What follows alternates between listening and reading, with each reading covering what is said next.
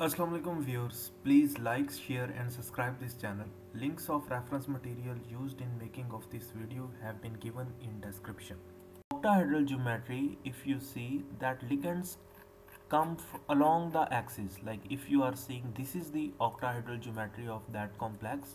So if you see that all ligands are coming along the axis, now if you see this is the y-axis ligands are coming, this is the x-axis, this is the z-axis so as all ligands are coming along the axis so those orbital that are on the axis will feel more repulsion and they will go into high energy state. Whereas those orbitals which are in between the axes like dxy dyz and dxz these will feel less repulsion and they will be lower in energy. Why these feel less repulsion as you see here in this diagram again that uh, mm, the ligands that are coming uh, on along the axis so the space like this space like this space where the in between uh, uh your orbitals are there.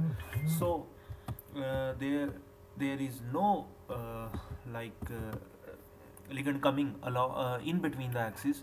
So these orbitals will feel less repulsion. So this is the diagram that actually we will discuss uh, today. Now these two orbitals are dx square y square and dz square. As I have told you earlier that these are on the axis orbitals whereas these three are dxy dyz and dxc orbitals हम इसको एक और नाम भी देते हैं कि यहाँ पर अगर आप देखें तो ये जो ऑर्बिटल्स हैं, वो एक ही एनर्जी लेवल पर है। ठीक है? यहाँ पर भी ये एक ही एनर्जी लेवल पर है। इसको हम कहते हैं orbital degeneracy degeneracy का मतलब है all orbitals are on the same energy लेकिन जब यहाँ पर मेटल फ्री फॉर्म में है, अभी कोई लिगेंड नहीं आया, यहाँ पर जो है वो मेटल के करीब अप्रोच शुरू हुई है लिगेंड्स की, लेकिन उन्होंने परमानेंटली कोई बॉन्ड नहीं बनाया। और यहाँ पर एक ऑक्टाहेड्रल कॉम्प्लेक्स बन गया है तो ये सप्लिटिंग हो गई है। और हम कहेंगे कि इस डी ऑर्बिटल की डी जनरेसी जो है वो लूज़ हो गई है। नौ ये यहाँ पर एक लेवल पर थे, अब इनकी डी जनरेसी लूज़ कर गई है। अब ये एक लेवल पर नहीं है। तीन जो है वो नीचे आए हैं और दो जो है वो ऊपर गए। यहाँ पर मैं जो बात कर रहा था ना स्ट्रेन कि ये देखें कि यहाँ पर ज़्यादा स्ट्रेस है और यहाँ पर वो इतना स्ट्रेस नहीं है। तो what is this nature of stress तो इससे पहले मैंने कहा कि दे वील मोर रिपल्शन और ये हाई एनर्जी पे चले गए हैं और दे फील लेस रिपल्शन तो ये लो एनर्जी पे चले गए हैं। तो क्वेश्चन इज़ कि रिपल्शन किस चीज़ की है? हमने तो पहले बात की है अट्रैक्शन की कि मेटल पर पॉजिटिव चार्ज है और लिगन पर नेगेटिव चार्ज है। Yes yes, now, this is the repulsion between the electrons of metal and between the electrons of ligands. देखें, पहले तो इन पर formal partial positive charge metal पर है पार्शियल नेगेटिव चार्ज लिगेंड पर है। तो इस स्टेज पर, यहाँ पर वो करीब आ जाते हैं, ठीक है? लेकिन इस स्टेज के बाद जब बॉन्ड बनता है तो इनके दरमियान रिपल्शन स्टार्ट हो जाती है। Repulsion between the electrons of metal and repulsion between the electrons of the ligand तो उस रिपल्शन की वजह से ज़ाहिर है जो अलोंग द एक्सिस ऑर्बिटल्स हैं, वो ज़्यादा रिपल्शन फील करेंगे। And they will move into high energy state where as जो in between the axis orbitals हैं they will feel less repulsion और उस वजह से हम कहेंगे कि उनकी जो है वो रिपल्शन कम होगी। नाउ वाई हमने d x square y square और जी जी स्क्र को ई जी ऑर्बिटल्स के नाम से हम रिप्रेजेंट करते हैं? बुक्स में लिखा हुआ इसका मतलब है इक्वली डीजनरेटेड और इसका मतलब है ट्रिपली डीजनरेटेड लेकिन ये जो दो टर्म्स हैं लाइक दिस ई जी और टी टू जी इनका ये मतलब नहीं है। लेकिन बुक्स में ऐसा कन्फ्यू लिखा हुआ है, लेकिन एक्चुअली इनका मीनिंग कुछ और है।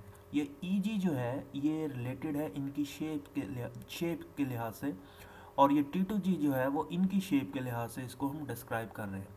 तो वैसे हम नॉर्मली इनको फिर टी टू जी इनकी शेप की वजह से कहते हैं, और ई जी भी इनको इनकी शेप की वजह से कहते हैं।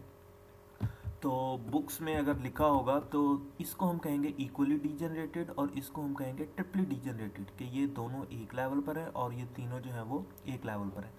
Now if you see what is this del o del o जो है it is actually octahedral field splitting parameter ठीक है?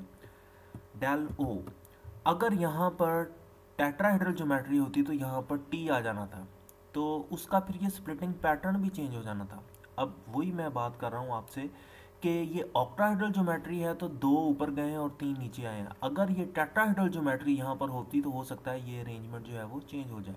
So this splitting pattern also depends on the particular geometry of a molecule तो हम VBT से information लेंगे कि यहाँ पर ज्योमेट्री किस किस्म की है। ऑक्टाहाइड्रल है स्केयर प्लेनर है टेट्राहाइड्रल है। उस लिहाज से यहाँ पर फिर स्प्लिटिंग पैटर्न जो है वो चेंज होगा। अगर आप यहाँ पर देखें तो पिछली थ्योरी के अकॉर्डिंग ये ऑक्टाहाइड्रल ज्योमेट्री है।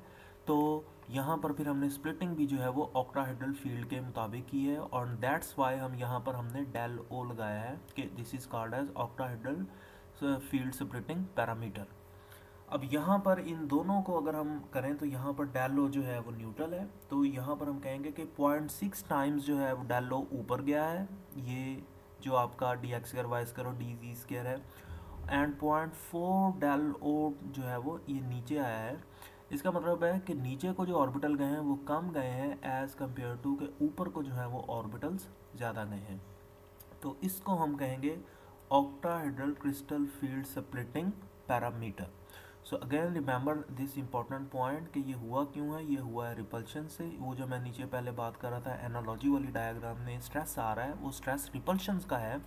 कि जब बहुत ज़्यादा करीब आ जाएँगे मेटल एंड लिगेंड तो उनके दरमियान रिपल्शंस होंगी। Between the electrons of metal and between the electrons of ligands as due to which ये फिर आपकी स्प्लिटिंग हो जाएगी और ऑर्बिटल